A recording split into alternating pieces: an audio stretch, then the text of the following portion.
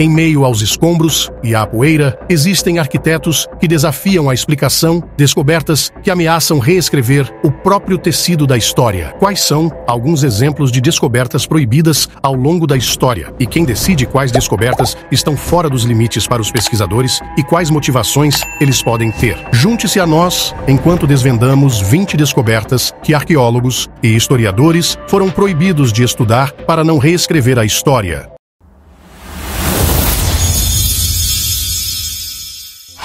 Número 20. O Mistério da Pedra de Kensington. No ano de 1898, no coração de Minnesota, ocorreu um evento extraordinário pintando um quadro claro de intriga histórica. Imagine uma simples fazenda chamada Olaf Omen, trabalhando em sua terra, limpando árvores e tocos teimosos. No meio do seu trabalho, algo notável chamou sua atenção. Uma pedra de tamanho específico, aninhada entre as raízes de uma árvore pequena. Mas esta não era uma pedra comum. Ela continha em seu interior um roteiro misterioso, uma mensagem críptica, esperando para ser decifrada. Com altura equivalente a uma régua e largura extensa à de uma tela de computador, a pedra não era apenas imponente em tamanho, mas também em peso. Sua significância escapou inicialmente da compreensão dos homens. Por nove longos anos, uma mensagem misteriosa esconde um quebra-cabeça até que Ur R. Holland finalmente desvendou seus segredos. Entalhada em sua superfície estava uma história de deuses e noruegueses embarcando em uma audaciosa exploração de uma nova Finlândia, apelidada de Vinlândia. Esta revelação abalou os fundamentos da história, revelando a possibilidade de que os vikings tenham atravessado o vasto Atlântico muito antes da famosa viagem de Colombo. No entanto, o ceticismo persistiu na mente de alguns, lançando dúvidas sobre a moderna da narrativa das pedras rúnicas de Kensington.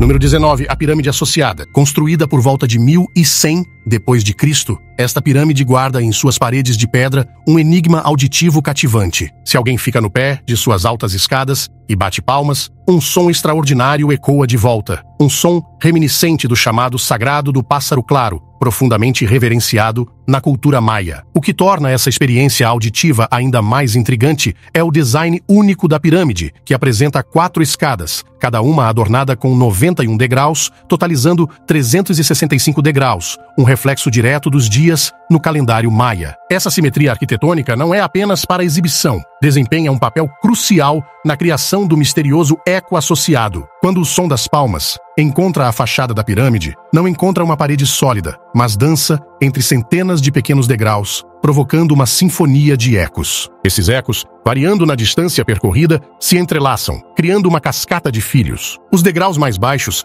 apresentam ecos agudos e rápidos, seguidos de intervalos mais longos de ecos graves dos degraus mais altos. Essa mudança gradual de tom reflete a associação melodiosa de um pássaro. Até hoje, as características permanecem envoltas em mistério. Seria essa característica de associação uma mera coincidência do design inovador ou uma criação deliberada pelos antigos construtores? A resposta nos escapa, acrescentando mais uma camada de intriga a esta pirâmide cativante no coração do México.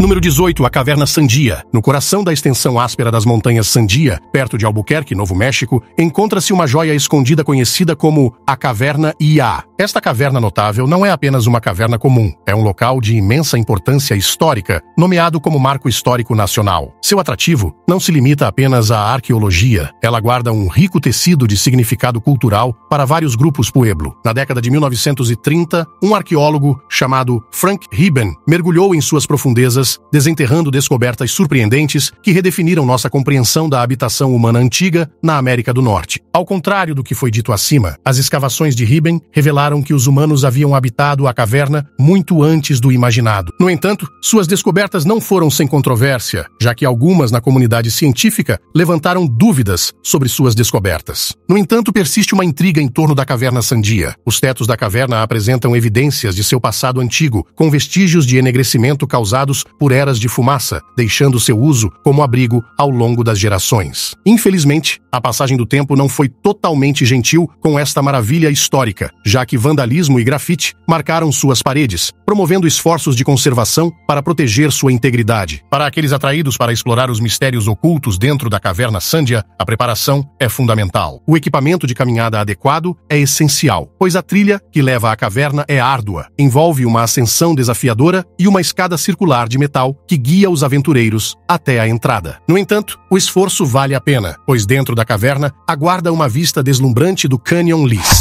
Número 17. Máscaras fúnebres antigas. No coração da Sibéria, uma descoberta notável foi desenterrada, coberta tanto de mistério quanto de gelo. Máscaras fúnebres antigas, cada uma contando uma história tão arrepiante quanto os ventos siberianos. Esculpidas com cuidadosa precisão e adornadas com desenhos intrincados, essas máscaras emergiram de montes funerários antigos, ocasionais como testemunhas silenciosas de rituais há muito esquecidos. Criadas com uma arte indiscutível, essas máscaras oferecem um vislumbre assombroso das associações do além de uma enigmática cultura antiga. No entanto, não é apenas a sua beleza que cativa, mas também as irregularidades na sua confecção e os símbolos que provocam controvérsia entre historiadores e arqueólogos. À medida que os especialistas mergulham mais fundo no mistério, surgem perguntas: quem foram os indivíduos por trás desses rostos? Por que algumas máscaras desafiam a iconografia conhecida das tribos siberianas? Esses artistas poderiam ser remanescentes de uma civilização siberiana perdida, uma que poderia possivelmente reformular nossa compreensão da história antiga da Eurásia. No entanto, em meio à motivação dessa descoberta inovadora, há sugestões de dissensão. Certas habilidades sabem que essas máscaras permanecem enigmáticas, temendo as revelações que podem trazer. No entanto, a beleza de desvendar os segredos ocultos nessas máscaras fúnebres antigas se mostra irresistível para aqueles determinados a descobrir a verdade. Número 16. A Pedra Decáloga de Los Lunas. No final do século XIX, uma descoberta notável foi feita perto de Los Lunas, Novo México, um lugar cercado por mistério e história. Hidden Mountain, a cerca de 35 quilômetros da movimentada Albuquerque, guardava um segredo que confundiria e intrigaria estudiosos por muitos anos. Foi aqui que uma enorme rocha, conhecida como a Pedra Decáloga de Los Lunas, chamou silenciosamente, porém poderosa, com marcações que incluem ecoar um antigo script hebraico. Essas marcações, como uma condensada dos sagrados Dez Mandamentos, foram gravadas na superfície da pedra, revelando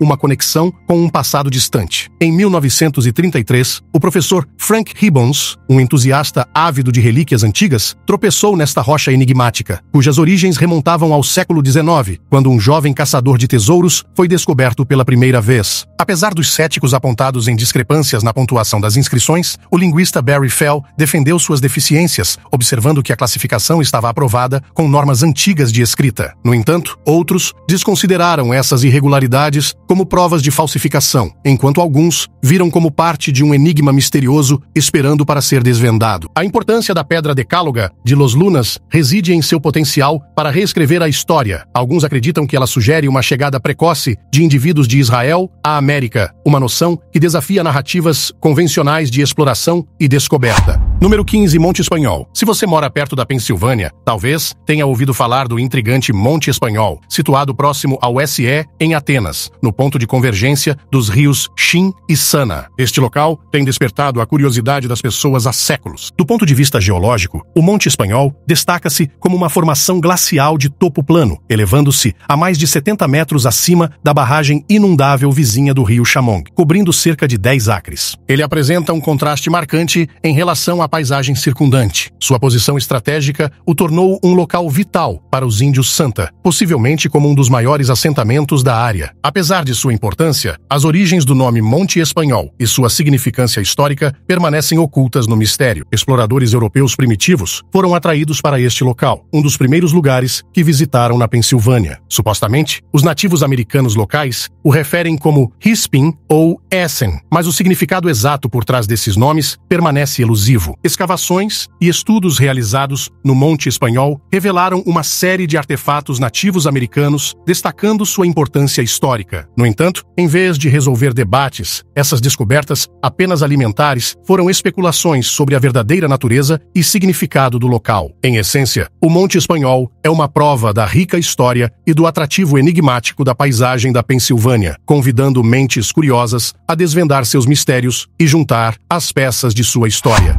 Número 14, como pedras elétricas, a recente revelação de pedras notáveis encontradas nas profundezas de Manono, no Congo, incendiou intriga e fascinação global. Esta descoberta cativante aconteceu através de um vídeo amplamente divulgado online, no qual os habitantes locais tropeçaram nessas pedras peculiares e revelaram um fenômeno incomum. Ao obrigações, essas pedras juntas, faíscas e romperam, relacionadas à deslumbrante exibição testemunhada durante a transferência de metais. Essas pedras possuem uma beleza enigmática, caracterizada por sua aparência nublada e brilhante, e um poder inexplicável que desafia a compreensão convencional. Conforme o vídeo se espalhava pela internet, ele incitava uma onda de especulações e conjecturas. Alguns entenderam traçaram paralelos entre essas pedras e o fictício metal vibranium, ilustrado nas histórias em quadrinhos e filmes do Pantera Negra, incitando visões de maravilhas futurísticas. Outras ponderaram essas pedras, que abrigavam minerais ou elementos não descobertos, potenciais revelações científicas inovadoras. Um vídeo particularmente intrigante mostrava uma pequena pedra conectada a uma lâmpada através de fios, prometendo iluminar a lâmpada com uma fração dessas pedras capaz de alimentá-la por incríveis 72 horas. Talvez a demonstração mais surpreendente, capturada no vídeo, ilustrasse duas pedras maiores soldando eficazmente uma ferramenta junta, um feito que aparentemente desafia as leis fundamentais da energia. No entanto, em meio à admiração e maravilha, o ceticismo persistia. Os duvidosos especulavam se os vídeos poderiam ser ilusões habilmente organizadas, questionando a composição de pedras possuindo energia elétrica potente. Especialistas anunciaram contra a tomada de decisões precipitadas, fornecendo alternativas, como a implementação de fontes de energia externas ou técnicas sofisticadas de edição de vídeo, lançando dúvidas sobre a eficiência dessas energias elétricas. Número 13, cunha de alumínio de Ayude. A cunha de alumínio encontrada em Ayude permanece um quebra-cabeça perplexo no mundo da arqueologia. Descoberto profundamente abaixo das camadas de solo, perto da cidade romena, em 1974, datando de mais de 10 mil anos atrás, estes artefatos desafiam todas as explicações relevantes, deixando os especialistas coçando a cabeça. O que torna esta descoberta única não é apenas sua idade, mas sua composição, feita de uma mistura de alumínio, um material considerado além do alcance das civilizações antigas. Isso desafia a própria linha do tempo do avanço tecnológico humano. O alumínio, conhecido por seu amplo uso moderno, só se tornou amplamente disponível no século XIX. No entanto, aqui temos uma cunha de precisão projetada, semelhante às peças usadas em aeronaves contemporâneas, enterradas sob a terra antiga. É um paradoxo envolto em um enigma, uma evidência de engenhosidade de uma civilização há muito desaparecida, escondida no mistério. Esta descoberta não apenas questiona nossa nossa compreensão da história, mas também desafia o próprio tecido do tempo. Número 12. Uma descoberta misteriosa. Na sombria abraço dos anos 1880, uma revelação arqueológica surpreendente se desdobrou, incendiando a curiosidade e o encantamento entre um grupo de americanos destemidos em um monte funerário oculto dos olhos da modernidade, de repente, descoberto por exploradores destemidos. O que estava dentro não era nada menos que extraordinário, um tesouro de restos humanos peculiares escondido no mistério das eras. Entre esses esqueletos antigos havia um segredo surpreendente: crânios adornados com protuberâncias ósseas relacionadas a chifres, elegantemente posicionados cerca de dois polegadas acima das sobrancelhas. Esses crânios, uma vez pertencentes a homens aparentemente comuns, ostentavam uma coroa de osso misterioso, evocando uma atmosfera estranha. Mas isso não era tudo. Esses remanescentes esqueléticos sussurraram histórias de gigantes com mais de dois metros de altura, descansando por volta do ano de 1200 depois de Cristo. Tal revelação não era uma fachada fachada comum. Levou uma liga de diferentes antiquários para orquestrar. Entre eles estava o Dr. G.P. Dono, um dignitário do estado da Pensilvânia, ao lado de A.B. Skinner, um explorador destemido, oriundo do Museu de Investigação Americana, e W.K. Moorhead, da Academia Phillips, em Massachusetts. Curiosamente, essa não foi a primeira vez que tais enigmas surgiram na América do Norte. Ao longo do século XIX, crânios surpreendentes semelhantes surgiram em diversos lugares, como em Wellsville, Nova York, e em um povoado mineiro perto de El Paso, Texas. Historicamente, chifres simbolizavam poder, adornando figuras emprestadas como Alexandre, o Grande e até mesmo figuras bíblicas como Moisés. Número 11. Pegadas humanoides antigas. Durante os dias calmos do verão de 2002, pesquisadores tropeçaram em um local notável perto da tranquila vila de Trulos. Pegadas antigas esculpidas em uma superfície rochosa. Essas pegadas tinham uma semelhança impressionante com a de um ser humano, desencadeando uma onda de motivação entre os arqueólogos. Marcou um momento crucial na história arqueológica, pois essas pegadas oferecem um vislumbre de uma era passada, cerca de 5,7 milhões de anos atrás. A semelhança marcante com pegadas humanas sugeria a existência de uma espécie que percorreu a Terra muito antes do Homo sapiens surgir. Mas o intrigante não parou por aí. Estudos recentes empurraram a idade dessas pegadas ainda mais para trás, diminuindo que elas podem ter cerca de 6 milhões de anos. Para colocar isso em perspectiva, essas pegadas antecedem em muito as famosas pegadas de Lucy encontradas na Tanzânia. As pegadas de Lucy têm apenas 3,2 milhões de anos. O que é particularmente fascinante sobre essas pegadas é sua forma. Elas se assemelham muito aos pés humanos modernos, ostentando cinco dedos diferentes sem sinal de garras. O alinhamento do dedão do pé corre paralelo aos outros dedos, e há uma saliência notável na base do pé, em contraste marcante com as pegadas de primatas não humanos, que se parecem mais com uma mão do que com um pé, com o dedão do pé sobressaindo para o lado.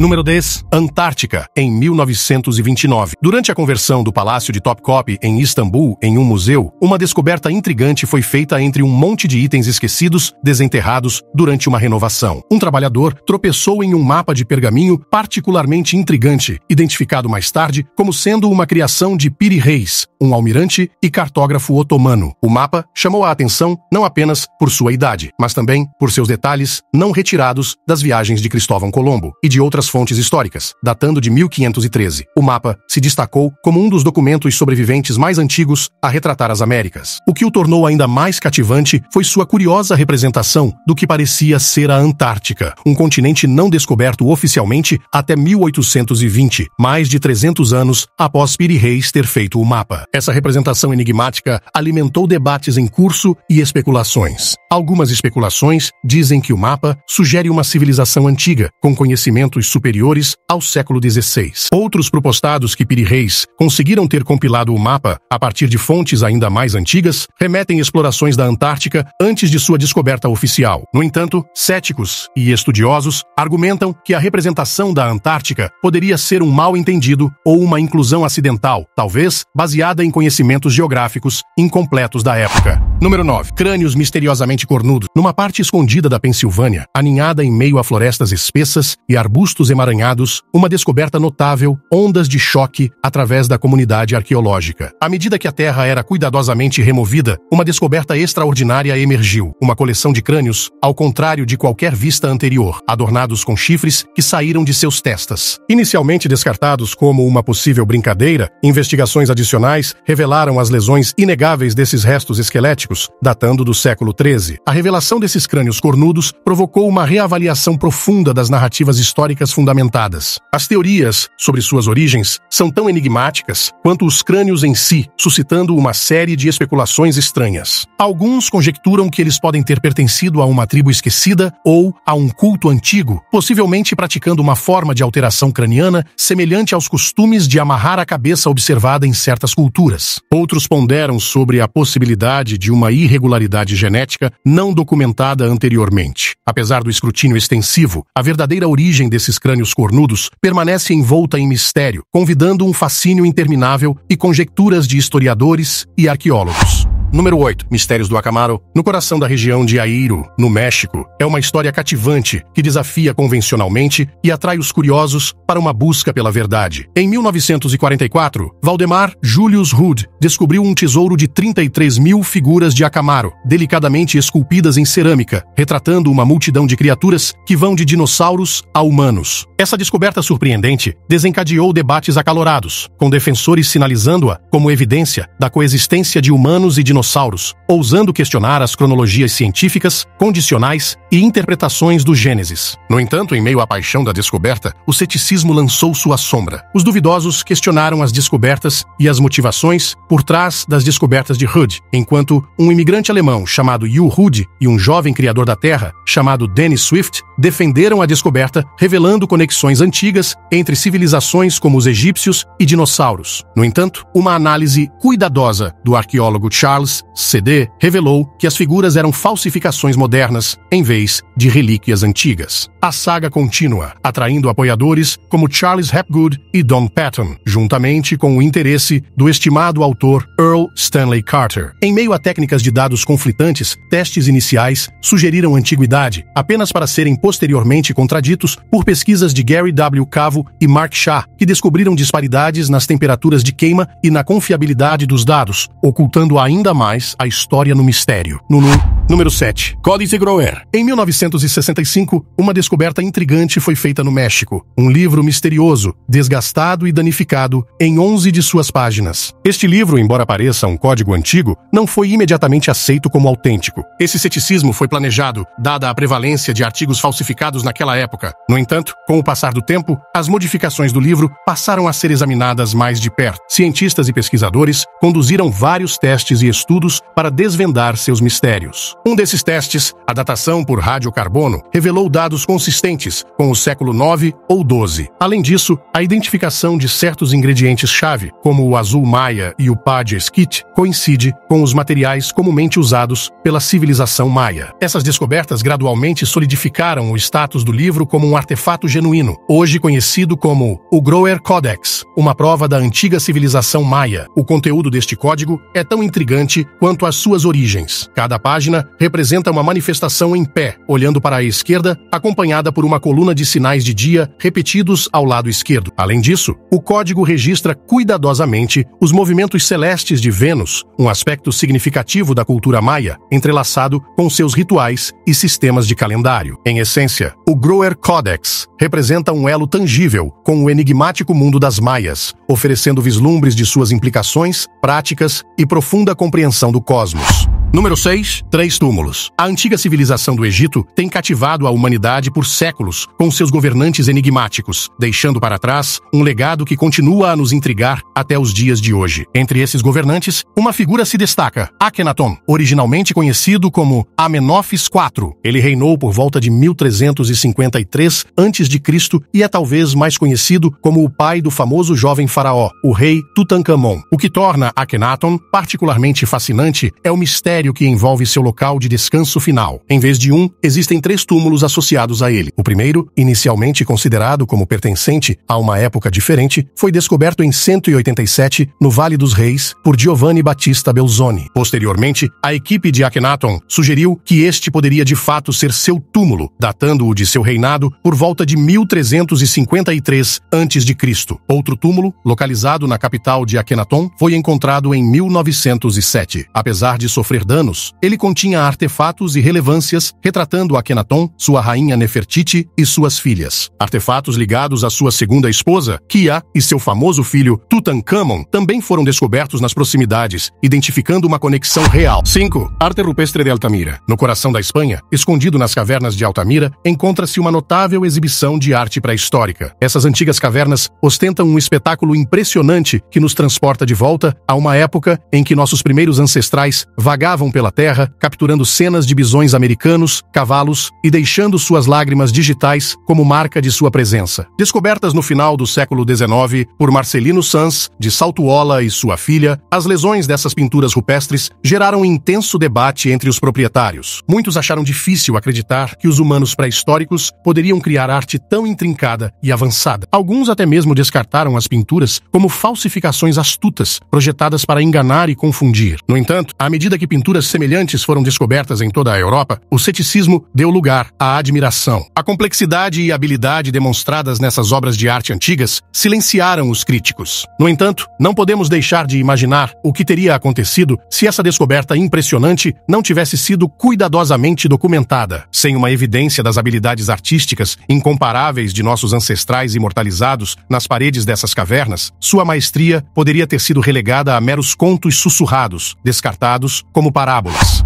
Número 4. Máscara funerária esconde um segredo bizarro. Um estranho mistério envolve as mentes dos arqueólogos russos enquanto eles adentram uma história peculiar de um antigo sepultamento de crânios de carneiro. Essa saga cativante começou com a descoberta de uma maravilhosa máscara de argila encontrada dentro de um monte funerário siberiano, desenterrada pela professora Anat Martinoff em 1968. A máscara inicialmente descoberta-se pertencia a um jovem guerreiro sepultado no monte funerário de Chovsky número 6. No entanto, as investigações recentes com conduzidas pela professora Natália e pelo Dr. Constantine Cooper revelaram uma revelação surpreendente. Contrariando as expectativas, a cabeça de argila escondida dentro da máscara não era os restos de um crânio humano, mas sim de um carneiro. Esse enigma deixou os pesquisadores intrigados, gerando especulações sobre sua significância. Essa irregularidade poderia ser apenas uma ocorrência recorrente ou ela sugere costumes mais profundos de tempos antigos. O professor Palm propõe duas teorias intrigantes. Em primeiro lugar, ele sugere que uma máscara poderia servir como substituta para um homem cujo corpo estava perdido em terras distantes ou na selva. Nesta interpretação, os crânios de carneiro simbolizam um recipiente para a alma do homem, levando-o para a vida após a morte. Em segundo lugar, os crânios de carneiro poderiam significar um renascimento simbólico ou um novo começo, marcando uma transição de status ou identidade. Ao lado dessa descoberta intrigante, os arqueólogos também desenterraram evidências de um método ritualístico de sepultamento envolvendo mumificação parcial. Agora é a hora do bônus da capa. Se chegou até aqui e está gostando, deixe seu like. Arqueólogos e historiadores foram proibidos de estudar essas descobertas para não reescrever a história. Nas escondidas de um vale esquecido, jaziam segredos enterrados que desafiaram o conhecido narrativo da história. Era um lugar envolto em mistério, guardado pelas sombras do tempo, onde arqueólogos e historiadores não se atreviam a pisar, pois lhes era proibido estudar as descobertas que ali jaziam. Entre a folhagem exuberante e as ruínas em ruínas, uma figura solitária permanente, contemplando a entrada proibida de uma rede subterrânea. Uma doutra, Amelia Hodds, arqueóloga renomada, sentiu o peso da antecipação enquanto se preparava para desafiar o decreto que prendia sua profissão, com uma determinação nascida da curiosidade e uma sede pela verdade. Ela adentrou na escuridão, seu coração pulsando de emoção, iluminada pelo fraco brilho de sua tocha. Ela descobriu artistas que conheciam de uma história há muito apagada dos anais do tempo, relíquias de uma civilização muito mais avançada do que qualquer uma conhecida pelos estudiosos modernos. Entre os artistas, Oda Hodds descobriu uma série de tabuletas intricadamente esculpidas, cada uma com símbolos criptográficos e inscrições enigmáticas. No entanto, à medida que ela mergulhava mais fundo nos textos proibidos, ela percebia as implicações de suas descobertas. Elas ameaçavam reescrever o próprio tecido da história, o que levou a doutora Amelia Hodds a desafiar o decreto que proibia o estudo das descobertas proibidas? Que segredos dos artistas desenterrados pela doutora Hodges guardaram e como eles avançaram em nossa compreensão da história? Deixe-nos saber seus pensamentos e comentários. Número 3. Runo Runo, uma maravilha arqueológica, aninhado em Bingo, Suécia. Este misterioso local, conhecido como o Cracked Droit Dyke, tem intrigado estudiosos e locais por séculos com suas marcas misteriosas. Estendendo-se por cerca de 22 metros, o interesse em Runo remanescente ao século XII, quando o cronista dinamarquês Saxo Grammaticus o atualiza pela primeira vez, descrevendo-o como um adornado com letras peculiares, um enigma que persistiu mesmo naquela época. Apesar dos esforços do rei dinamarquês Valdemar I, que invejosos especialistas para decifrar as inscrições, a passagem do tempo e os elementos severos se tornaram indecifráveis. Avançando para o século XIX, Runo encontrou-se no centro de um debate acadêmico aquecido. Em 1833, a Real Academia Dinamarquesa de Ciências de Concepção uma expedição para investigar essas runas. Entre a equipe estava Fur Magnusson, um filólogo que, após dificuldades iniciais, afirmou ter decifrado o código, interpretando-o como uma antiga ode ao rei Hilden na Batalha de Bala. No entanto, a sua interpretação gerou controvérsia e esperança de ceticismo generalizado. Após a tentativa mal sucedida de Magnusson, o cientista sueco John Jacob Berzelius embarcou em seu próprio estudo. Ele propôs uma teoria radical, mostrando que o que justificava serem runas eram, na verdade, falhas naturais na rocha formada pela atividade vulcânica antiga. Número 2. Engrenagens antigas e objetos de culto. Nas últimas décadas, as pessoas do condado de Orange, sul da Califórnia, têm tropeçado em uma variedade de artefatos antigos que se assemelham a pequenas rodas. Estas não são rodas comuns em carrinhos ou veículos. Em vez disso, são desenterradas em campos ou durante projetos de construção, escondidos de mistério quanto ao seu propósito. Após anos de especulação, os pesquisadores finalmente desvendaram o enigma envolvendo esses objetos peculiares. Essas rodas são atribuídas à cultura do Horizonte de Moagem, uma antiga sociedade que prosperou no sul da Califórnia entre 2000 e 500 a 7.500 anos atrás. O que torna essas descobertas ainda mais intrigantes é a sua diversidade, vinda em 4 a 7 tipos diferentes, incluindo chato, gradeado, perfurado e alguns sem furos algum, aumentando a complexidade. Eles sortearam números variados de pontos, variando de um único ponto a impressionantes 22, com a maioria tendo entre 10 e 17 pontos. A precisão com que essas pedras são trabalhadas sugere o trabalho de artes habilidosas da antiguidade, feito a partir de uma variedade de materiais como xisto vermelho, arenito, basalto ou granito, cada roda carrega sua própria narrativa. Curiosamente, essas pedras podem estar ligadas a grupos ou grupos específicos dentro da cultura do horizonte de moagem, aumentando ainda mais a intriga. Sua descoberta frequente perto do mar ou das colinas costeiras criou um padrão convincente. Número 1. Um, artefatos antigos maias. Os artefatos antigos maias são como tesouros de um tempo misterioso, há muito tempo atrás. Eles vêm do coração da Mesoamérica, onde a civilização pode prosperar. Esses artefatos são mais do que simples objetos antigos. São como peças de um quebra-cabeça que os historiadores resolveram resolver ao longo dos séculos. Imagine intricadas pedras esculpidas com escritas estranhas nelas, joias deslumbrantes dignas da realeza. Esses artistas nos examinaram um vislumbre de uma sociedade que não era apenas complexa, mas também muito avançada para sua época. Alguns desses artistas não se encaixaram totalmente no que pensavam saber sobre os maias. Entre eles, há desenhos curiosos de seres de outros mundos e contos de jornadas às estrelas. Essas ideias não são as que normalmente associamos à cultura maia. Alguns especialistas acham que esses desenhos podem ser mal compreendidos, apenas histórias antigas sem significado mais profundo, mas outros acreditam que eles poderiam indicar algo mais extraordinário. Talvez as mães tenham tido contato com seres do espaço exterior, ou talvez tenham ouvido falar de civilizações que ainda nos são desconhecidas. Esses artistas desafiaram tudo o que pensávamos saber sobre as maias e sua história. Obrigado pela sua companhia. Aproveite e clique nos cards da tela para assistir a mais um vídeo. Não se esqueça de deixar o like e se inscrever no canal.